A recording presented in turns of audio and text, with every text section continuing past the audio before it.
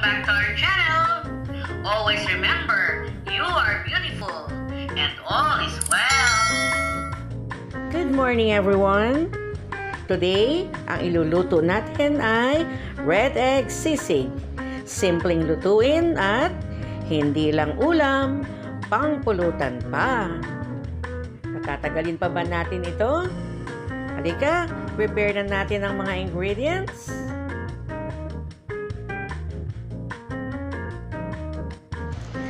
Ang una ay garlic o bawang. 4 cloves of garlic ang ginamit ko dito. I-crush lang natin. Tapos ay sibuyas o onion. 1 piece of onion lang. Hiwa-hiwain nating maliliit. At i-mince. Ang sumunod ay ginger o luya. Isang maliit na piraso lang. Mas pino, mas okay ang luya para sumamang maigi sa mga ibang ingredients. Tapos ang green chili, 4 pieces. Slice lang natin ng diagonal na maninipis.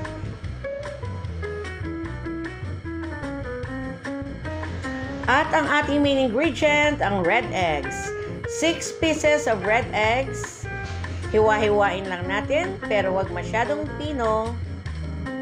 Ito naman ang chicharon. Kinrush ko siya sa kitchen helper. Pwede rin sa kutsilyo i-crush. Walang problema. Hayan, prepared na ingredients. Let's cook! Ang una natin gagawin ay magpainit ng mantika sa kawali at pag mainit na ay higulog ang garlic or bawang. I-stir lang natin hanggang maging golden brown ang color. Pag golden brown na ang color, isunod natin ang onions or sibuyas.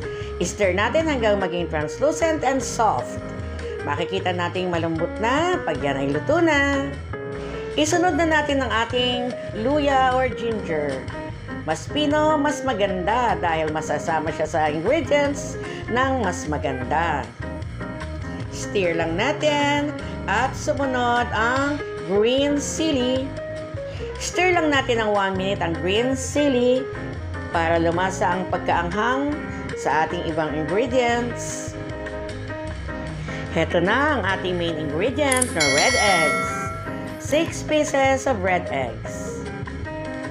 I-mix lang natin gently para hindi masyadong madurog ang red eggs.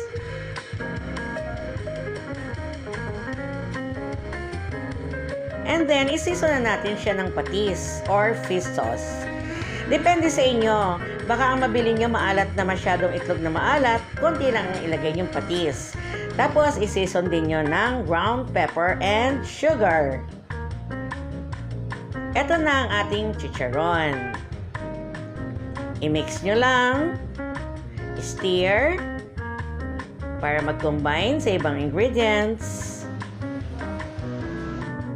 At this point, final adjustment of taste na tayo. Tingnan natin kung okay na ang alat, kung okay na ang anghang. In a few seconds, maluluto na ito. Okay, cooked and ready to be served. This is our red egg sisig. Sobrang daling lutuin, sobrang sarap. Naku, pag ito ang niluto nyo, tiyak ko, lalo kayong mamahalin ng misis nyo, lalo kayong mamahalin ng mister nyo. Okay guys, please subscribe if you wish for more easy cook recipes like this one. And also hit the bell button so you get to be notified for our new videos. Bye!